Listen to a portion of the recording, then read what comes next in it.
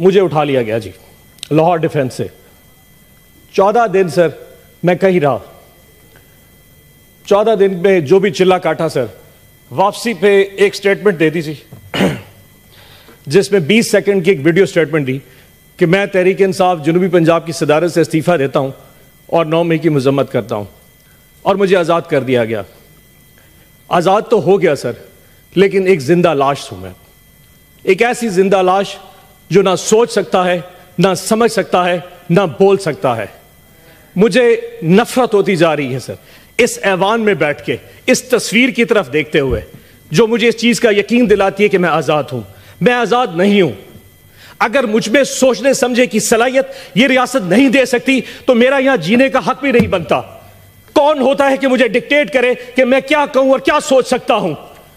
آپ کو اندازہ نہیں کہ، سر، پچھلے چھ آٹھ مہینے کتنے کر میں گزارے ہیں۔ سارے لوگ یہاں بیٹھ کے چائے پی رہے ہوتے تھے۔ سینٹ کا سیشن میں دیکھ رہا ہوتا تھا، جب میں گھر پہ چھپا ہوتا تھا۔ یہ باتیں کرنا آسان ہے، سر۔ آج آپ ریگنگ کی بات کر رہے ہیں، جو کچھ ہمارے ساتھ ہوا ہے، مجھے آج تک ایک پلیٹ فارم نہیں دیا گیا۔ افسوس ہوتا ہے، سر، کہ یہاں بیٹھ کے سارے بات کر رہے ریگنگ پہ، لیکن ان بیچارے ورکروں کے ساتھ، وہ ہمارے دوستوں پی ٹی آئی کے لوگوں کے ساتھ جو کچھ ہو رہا ہے، آج تک کسی نے اس پہ بات نہیں کی۔ سر یقین جانے میں اگر ایک ایک رودات سنا دوں نا، آپ پریشان ہو جائیں گے۔ ان چار مہینے میں جب چھپا ہوا تھا، میرا گھر گرا دیا گیا، سر۔ میری فیکٹری، میرے کاروبار بند کر دیے گئے۔ ایک چھوٹا سا ذمہ دار ہوں میں، سر۔